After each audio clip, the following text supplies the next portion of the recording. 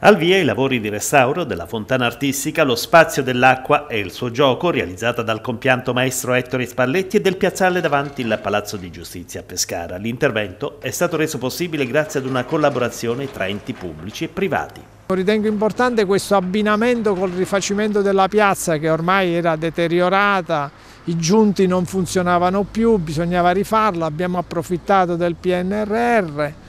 e con la col dirigente amministrativo, la dottoressa Natali, siamo riusciti a portare a compimento anche quest'opera di rifacimento della piazza che va benissimo che sia abbinata con la fontana. Ettore era una persona abbastanza straordinaria, dotato di una sensibilità anche molto... Molto alta per l'arte in genere e ovviamente anche per le sue opere, quindi vedere la fontana così lo feriva profondamente perché aveva come l'impressione che la città se ne l'ha voluta dimenticare, non, non l'aveva accolta, ecco, non era stata accolta. Siamo riusciti ad arrivare finalmente a iniziare questo restauro, credo che da qualsiasi pianeta lui ci guarda sarebbe molto felice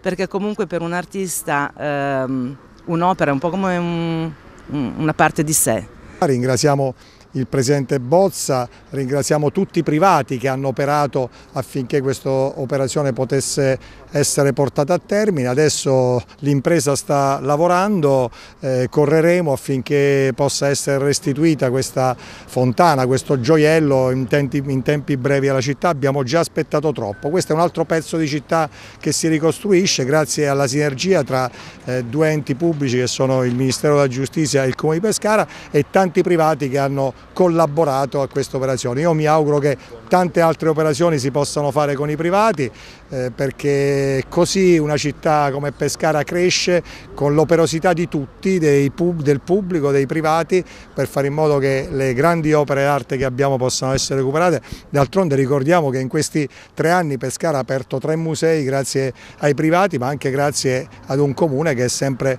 molto attivo. Questa è un'altra grande operazione che facciamo e che mettiamo a disposizione di Pescara con i fondi del PNRR, con i fondi del comune e con i fondi dei privati.